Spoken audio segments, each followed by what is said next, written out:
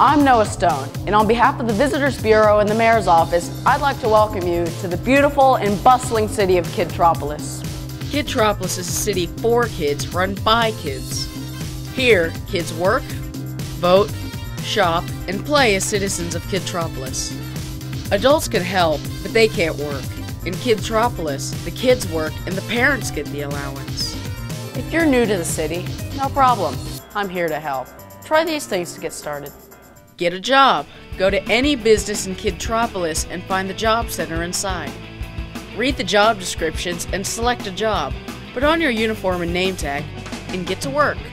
When you have completed the job, return your uniform to the job center and pick up one paycheck. Each paycheck in Kidtropolis is worth $20, but you may only take one per shift. Deposit the paycheck onto your orange kid card at an ATM or bring it to the bank to exchange it for cash. Once you've earned some money in Kidtropolis, you can deposit it in your ATM account or spend it.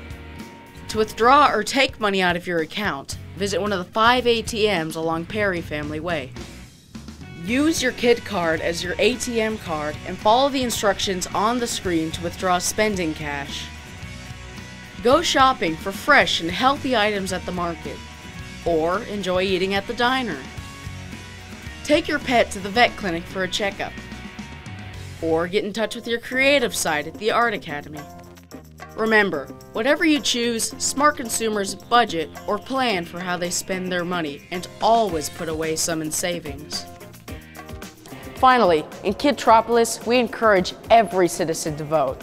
Elections are today and are held every hour. To vote, simply stop by the voting booth inside City Hall or participate in City Council. Watch the debates and vote whether to pass or veto a new law.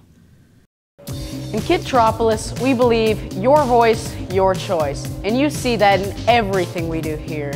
From the food you eat to the jobs you work, it's all up to you. So let me be the first one to welcome you to Kidtropolis.